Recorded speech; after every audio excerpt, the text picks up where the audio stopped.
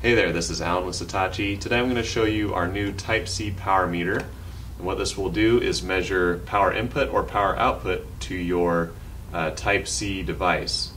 I'll show you how it works here. So I've got my power bank and my Type-C cable.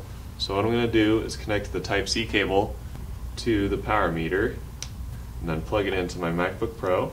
You'll see the Satechi logo come up here. And on this readout, it will measure the voltage in volts, the current in amps, as well as the current over time in milliampere that's flowing into the MacBook Pro.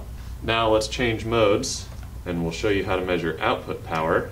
So I'll grab my Satechi hub over here, plug this into the power meter, then plug my power meter into the MacBook, and then I grab my iPhone and plug this in to the hub you'll be able to see on the screen of the power meter the arrow has changed direction, so it's measuring uh, output power now. So again, it'll give you the same, the voltage, the current, as well as the milliamp hours. So this device is really useful for uh, testing your accessories and peripherals to make sure that they're uh, operating at their advertised specifications.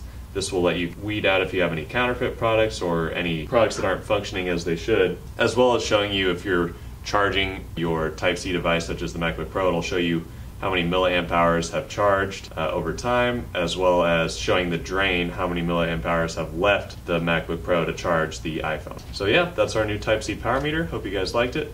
Let me know in the comments if you have any questions, and check us out on our website, satechi.net, as well as Facebook, Twitter, and Instagram. Thanks, and have a good day.